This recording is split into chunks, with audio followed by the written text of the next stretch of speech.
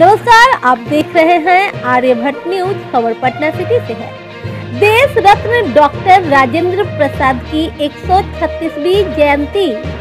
Patna city के नौजर घाट स्थित चित्रगुप्त आदि मंदिर के परिसर में मनाया गया, जहाँ मंदिर कमेटी के सदस्यों ने डॉक्टर राजेंद्र प्रसाद के तैलीय चित्र पर पुष्प अर्पित की। वहीं उनके जीवन पर भी प्रकाश डाला गया। विद्युत आदि मंदिर के प्रांगण में उपस्थित माननीय चित्रांश बंधुगण, मंच के संचालन कर रहे हैं।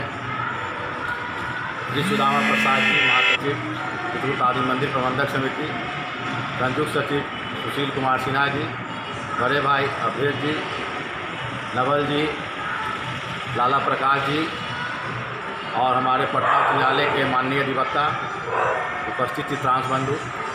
आज हम लोग श्री चित्रकूट आदि मंदिर के प्रांगण में देश रत्न डॉक्टर राजेंद्र प्रसाद की जयंती। हम लोग सोशल डिस्टेंस का पालन करते हुए सादगी से मना रहे हैं। देश रत्न डॉक्टर राजेंद्र प्रसाद जी की जयंती आज पूरे भारत में ही मनाया जा रहा है। ये बहुत अभी अभी हमारे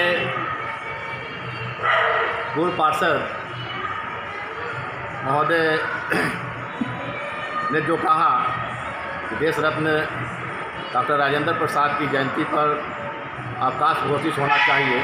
इसका निर्णय तो भारत सरकार को लेना चाहिए, लेकिन चूँकि देश के प्रथम राष्ट्रपति थे, अभी तक गवर्नमेंट के इस बात पर कहीं कोई ध्यान आकृष्ट नहीं किया है।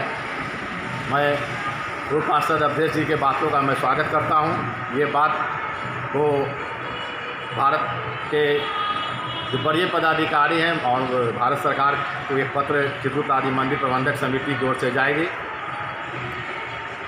डॉक्टर लंबी चौड़ी बातें की जा सकती है, फिर भी वो छोटा लगेगा।